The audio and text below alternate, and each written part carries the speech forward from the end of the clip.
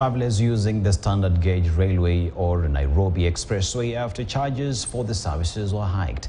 For those using SGR, the fares have been hiked by 50%, while those using Expressway will pay an extra 30%.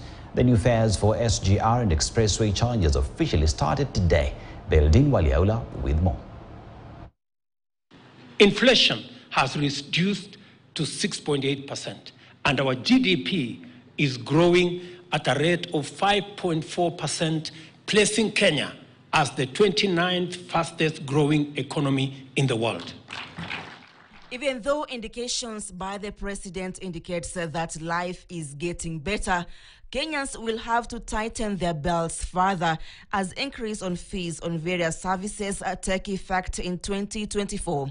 Expressway charges have been increased effective uh, 1st January.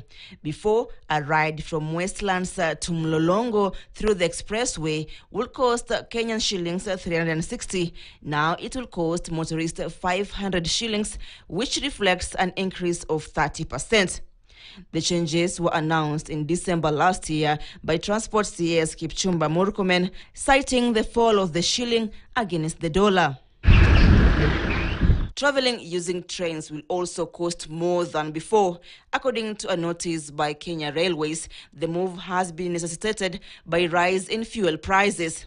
The changes will affect travelers using the Madaraka Express, Nairobi Commuter Railway, and railways to Nanyuki and Kisumu. For Madaraka Express, for regular seats, the price was a thousand shillings, but now they'll be going for 1,500 shillings.